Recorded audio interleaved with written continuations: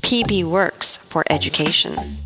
What is PBWorks, you ask? PBWorks is an online workspace teachers can use as a resource for students outside the classroom. PBWorks for education. With PBWorks, you can manage your classes, post your syllabus with relevant course information, and list assignments for students to work on.